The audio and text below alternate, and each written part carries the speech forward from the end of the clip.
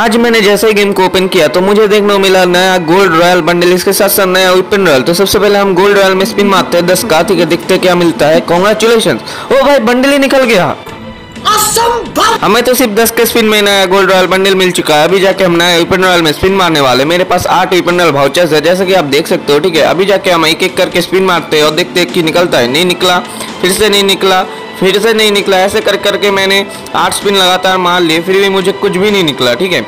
जैसे ही मेरे भाउचर्स खत्म हो गए, मुझे ध्यान आया कि, भाई ओपन के अंदर से हम गोल्ड में भी स्पिन मार सकते हैं। भाई, देखो।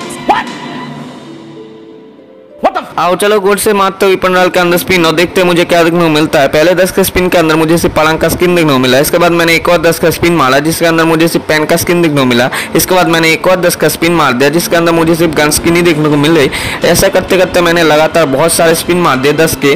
तो अचानक से एक स्पिन के अंदर कॉन्ग्रेचुलेशन लिखा हुआ आ चुका था। तो मैंने सोचा कि किंग फिशर का स्किन शायद से मुझे मिल चुका है, लेकिन मुझे ट्रीटमेंट स्नाइपर का स्किन देखने को मिला।